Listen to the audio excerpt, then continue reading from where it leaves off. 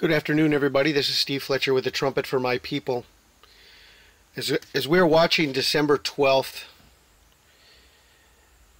I found this interesting detail I wanted to share with you. Universal Health Coverage Day is December 12th. One day of the year that they have set aside as Universal Health Coverage Day. Here's an article by the World Health Organization with a small explanation of what Universal Health Coverage Day is.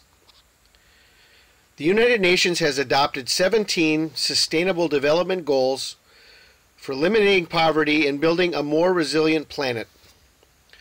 One of those goals includes providing universal health coverage. A coalition of more than 700 organizations in 116 countries marked December 12th as Universal Health Coverage Day, urging world leaders to deliver on promises to achieve universal health coverage.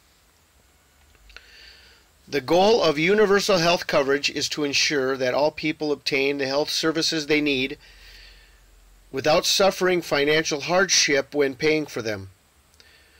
This requires a strong, efficient, well-run health system, a system for financing health services, access to essential medicines and technologies. Let's uh, repeat that again. Access to essential medicines and technologies, i.e., the RFID tracking chip, a sufficient capacity of well-trained, motivated health workers.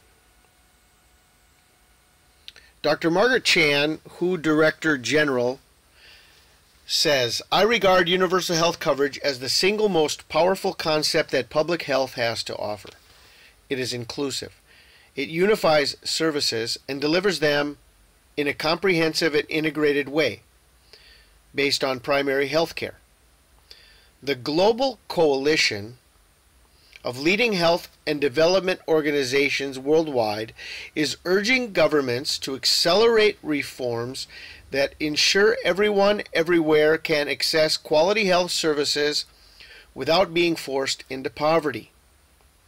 The coalition emphasizes the importance of universal access to health services for saving lives ending extreme poverty, building resilience against the health effects of climate change, and ending deadly epidemics such as Ebola.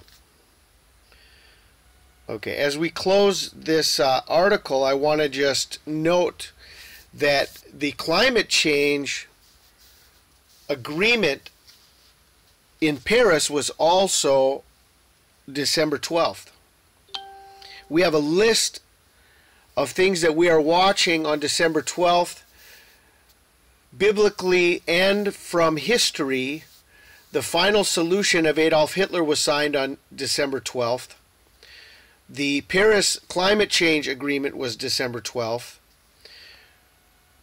The Universal Health Coverage Day is December 12th.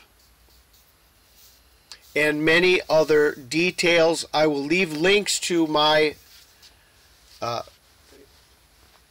my research and the videos that I have done on December 12th, and the reason this could mark Universal Health Coverage Day could mark the beginning of bringing in universal health coverage through the mark of the beast.